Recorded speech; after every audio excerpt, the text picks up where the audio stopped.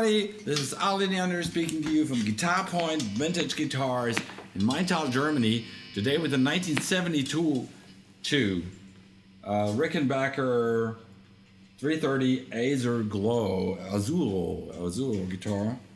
Um, it's it's uh, uh, you know by the 70s Rickenbackers changed a little bit, but this is, has a little bit still the, the dimensions of a 1960 Rickenbacker guitar.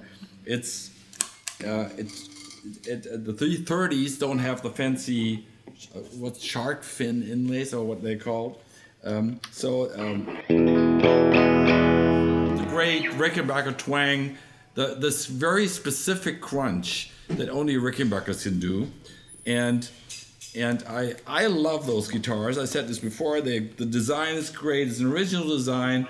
Um, the, as opposed to it, it's said they're actually quite comfortable to play. A, a, lot of times, like with the 12 strings, you always have the problems that the, the, the necks are quite narrow with 12 strings, but with six strings is all good. So that's a great guitar and something to be uh, to rediscover. Actually, it's a 1972 Rickenbacker 330 Azureglo.